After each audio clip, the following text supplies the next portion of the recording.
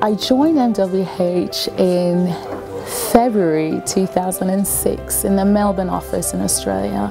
And the main reason I joined it was because um, of this global, global company. I was really excited because I'm an, I call myself an explorer. I've always wanted to travel the world and see the world. And what a great opportunity to work for a company where I could travel and work anywhere I wanted to.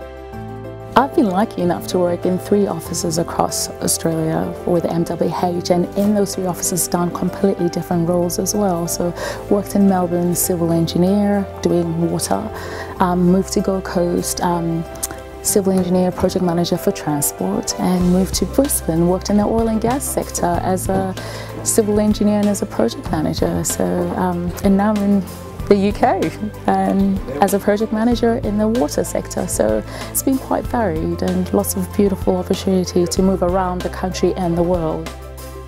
I will sit with a project team and we'll plan what like timelines, what they need to do, um, what the deliverables are, engage um, consultants like me to do um, the work for them. So I'm a project manager who basically looks at delivering the project with the project team.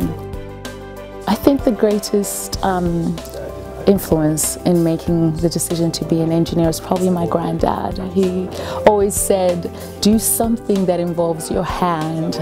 Brain power translated to your hands is just everything. If you love design and if you love getting building stuff, seeing things get built, this is it. Like there's a lot of, if you like critical thinking, you know, um, process and working with others to, to see a concept come to life, definitely do engineering. I'm Charity Mosienyane and I'm a civil engineer project manager at MWH.